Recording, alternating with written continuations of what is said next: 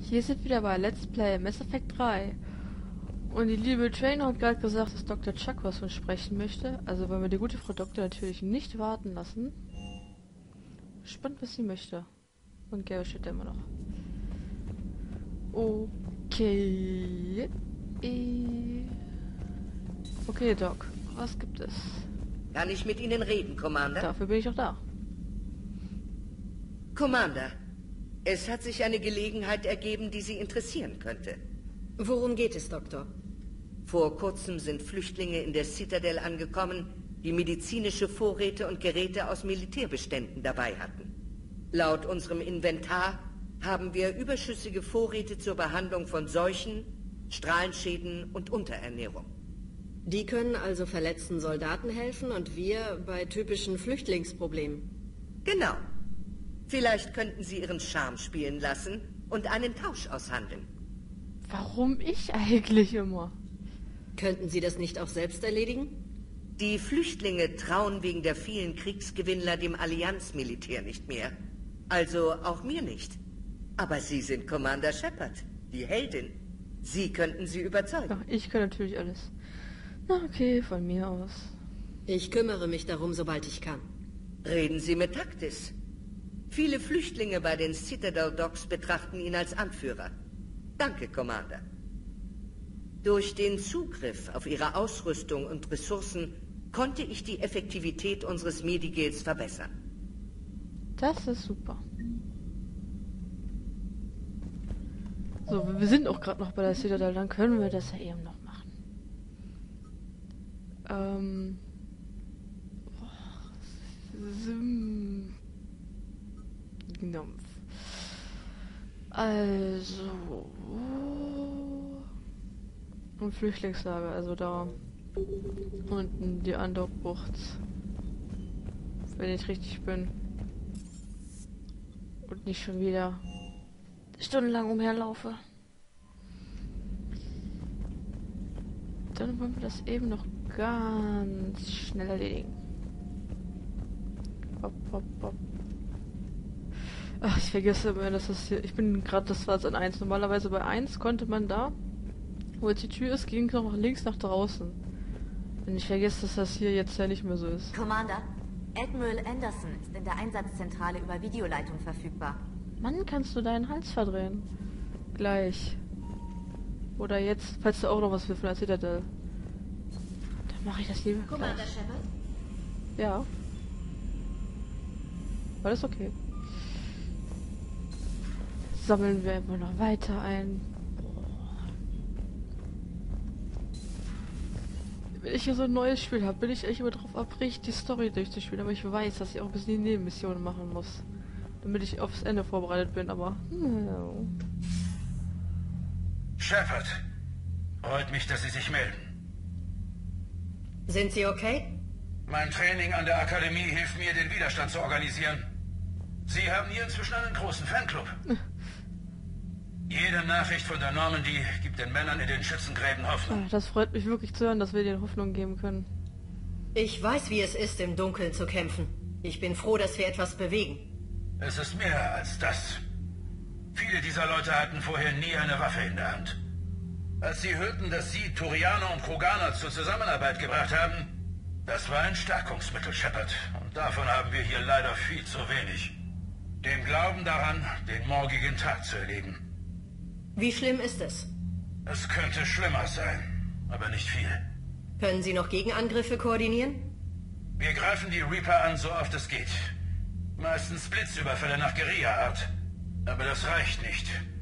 Wir müssen unsere Bemühungen konzentrieren. Wo? London. Dort geschieht irgendetwas Großes. Unser britisches Netzwerk sagt, es seien enorm viele Reaper angekommen. Wer denkt da jetzt an den Mass Effect Trailer?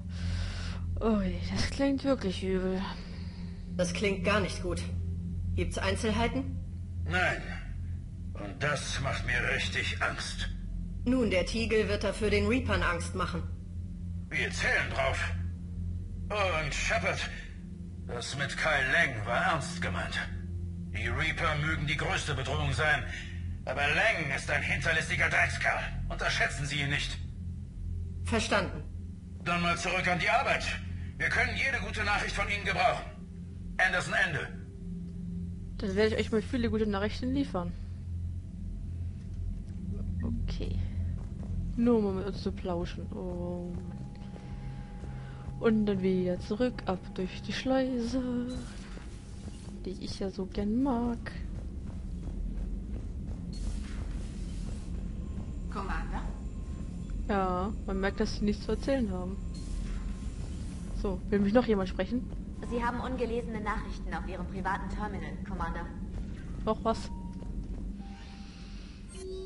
Oh. Okay. Ähm, Name Kai Leng. Mhm. Befriedigung, ist das da? Ja, das ist, äh,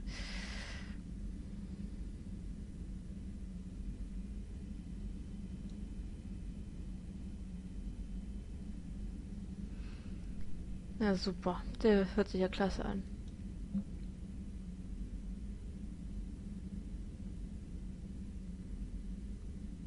Ach, er hier. Ähm, James Vega, das ist doch der hier. Der, der Muskelpross. Der.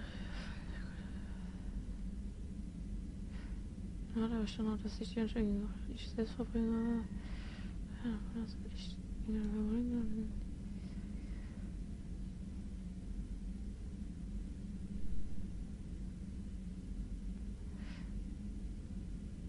Oh, ja, Citadel Spectre Büro, okay. Muss mir gleich merken. Neuer Artikel über Cerberus. Ja, okay. Treffen in der Bar. Das hatten wir schon. Jack haben wir schon getroffen.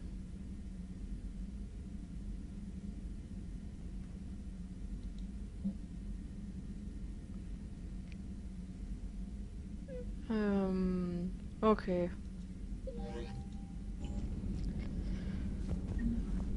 Dann gehen wir erstmal Interview machen. Ich dachte, ich komme noch zum Ballern, aber das wird, glaube ich, halt nichts mehr.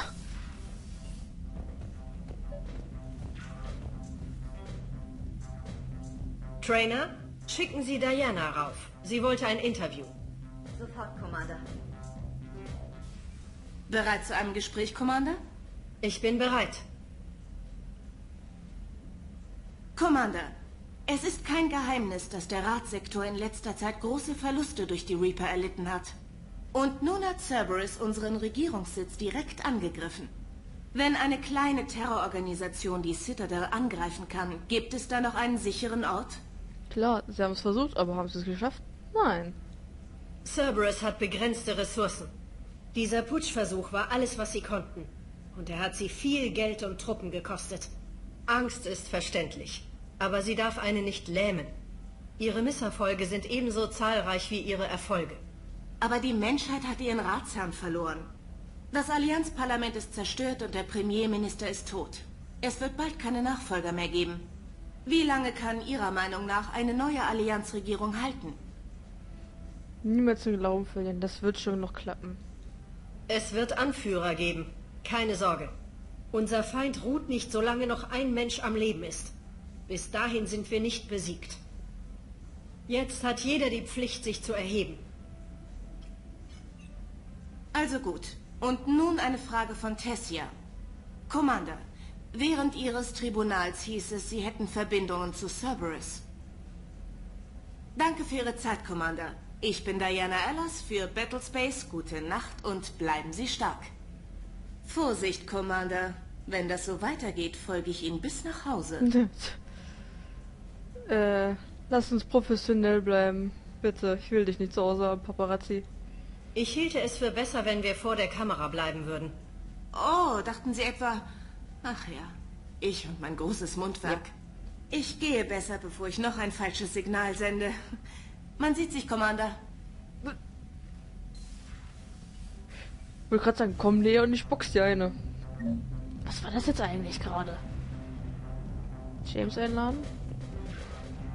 Oh, laden wir den Kollegen auch nochmal ein. James, ich hätte etwas Zeit, wenn Sie ein privates Gespräch wünschen. Bin unterwegs. Hey, wie geht's? Gut, James. Und Ihnen? Gut, gut. Was guckt er so? Wow. Darauf kann ich mich also freuen, wenn ich mal selbst ein Kommando habe. Sie wollen ein eigenes Schiff, Vega?